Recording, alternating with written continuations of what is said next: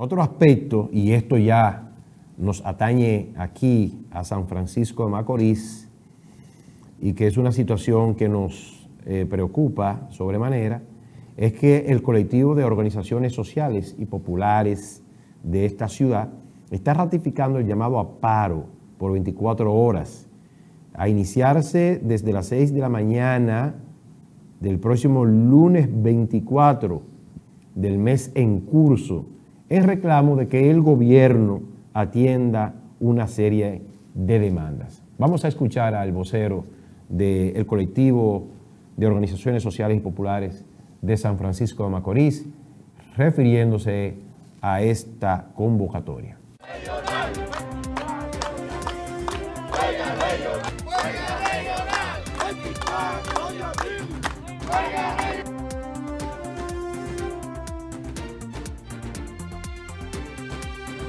Colectivo de organizaciones populares de San Francisco, como parte de la coalición de Cibao, viene a ratificar el llamado huelga para el próximo 24 de abril. Esta huelga se justifica por los incumplimientos, la irresponsabilidad e indolencia de las autoridades que luego de llegar a acuerdo no cumplen con ello. En tal sentido, anunciamos que para mañana tenemos un pleno de dirigentes en la primera etapa de los Espínola a las 5 y media de la tarde.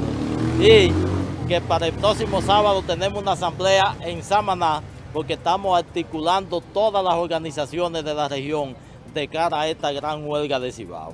La situación, lejos de las autoridades dar respuesta, lo que hacen es agravarla con las intenciones de desalojo y también por el hecho de que el alto costo de la vida y las intenciones de privatización del agua lo que hacen es exacerbar las contradicciones que hay en la sociedad y por eso no nos dejan otro camino que no sea hablar en el único lenguaje que ellos Bueno, estamos con teste, estamos de acuerdo con lo que dice este vocero sobre las necesidades que se han ido acumulando a través de los años, de los lustros y las décadas, y que van marginando a la gente, que la van haciendo cada vez más pobre, menos desarrollada, más atrasada, por este, esta serie de compromisos que los diferentes gobiernos van dejando de lado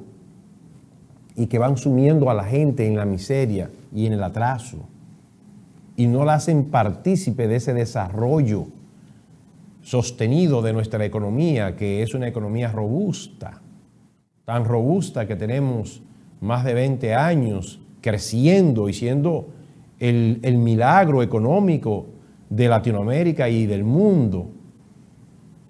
Sin embargo, ese crecimiento no se revierte en desarrollo humano, en crecimiento humano sino que hemos crecido, pero hemos crecido a través de las grandes corporaciones, del gran capital, de los empresarios, que hoy lo tenemos enquistado en, los gobiernos. Los empresarios son los que disponen, los que mandan. Y los de abajo, como siempre, soportando el peso de la crisis. Somos los que pagamos los platos rotos. Sin embargo, la gran masa, el pueblo, sufre esa situación, pero también sufrimos las luchas que se dan en las calles. Porque el colectivo de, organizaciones sociales y populares que viene teniendo una presencia importante aquí en San Francisco de Macorís, al igual que el Falpo y al igual que toda la sociedad dominicana dividida, los grupos populares están divididos en San Francisco de Macorís. Se están disputando, ¿verdad?, el liderazgo. Si es el colectivo que lo tiene o si es el Falpo.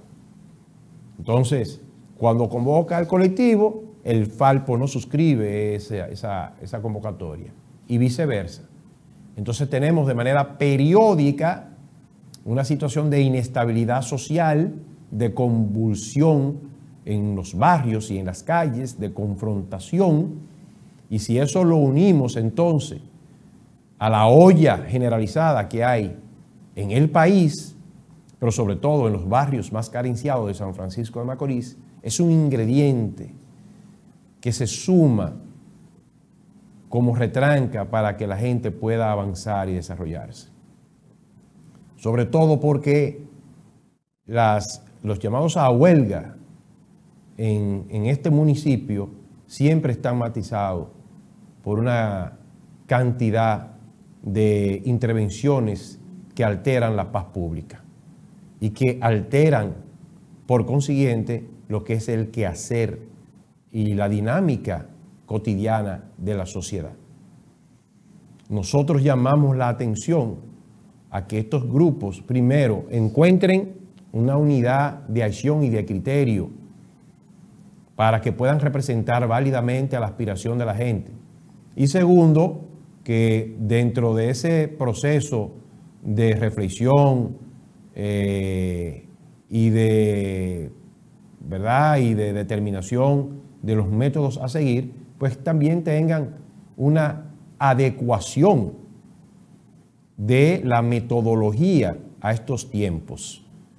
Esa forma eh, de protestar, a veces eh, alterando el orden o no garantizando que quienes participen en estas acciones no devengan acciones vandálicas y que se constituyan en ilícitos penales, pues nosotros entendemos que para que tengan la suficiente legitimidad social, la suficiente representatividad, estos grupos deben modificar en gran medida esa forma de proceder. La metodología tiene que estar acorde con lo que se requiere, con lo que se demanda. Lo que se demanda es justo, en la parte discursiva estamos de acuerdo, sin embargo, la metodología muchas veces deja que desear y eh, pues pone a San Francisco Macorís, pone a San Francisco Macorís en una situación incómoda que permita que siga la dinámica de crecimiento, de desarrollo que ha exhibido a pesar de estos grandes escollos y estas necesidades insatisfechas, se ha avanzado. Se ha avanzado en el orden, ¿verdad? Eh, tenemos muchas construcciones, tenemos grandes establecimientos comerciales de toda índole, tenemos eh, una, una buena representación profesional, empresarial. Es una ciudad, es un municipio que ha avanzado. ¿Que debimos haber avanzado mucho más? Sí, ciertamente. Pero eh, tenemos que ir modificando conductas y adecuándonos a estos tiempos. Este país necesita bajar los niveles de violencia y de crispación en lo que nosotros estamos sumidos. Muchas veces nosotros contribuimos también en ser agentes multiplicadores o potenciadores de la violencia. Quizás con la mejor de las intenciones, pero hay que recordar que de buenas intenciones está pedregado el camino hacia el infierno.